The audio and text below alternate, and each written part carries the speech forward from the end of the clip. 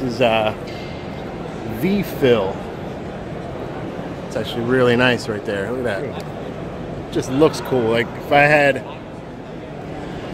if I owned a Wawa or a coffee shop, Yeah. I'd want one of these things. Must be in the right Out front. you know.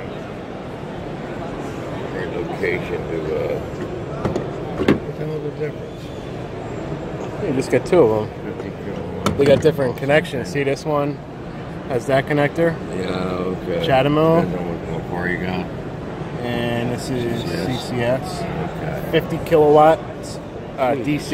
It can, Falls some power in there, huh? yeah. So there's that one. Here's the other one over here.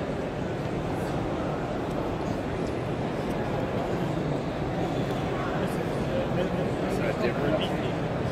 I mean, this this is cool, man. This is these things are gonna pop up everywhere. Oh, yeah. We're all over California, remember? Yeah. It is pretty neat.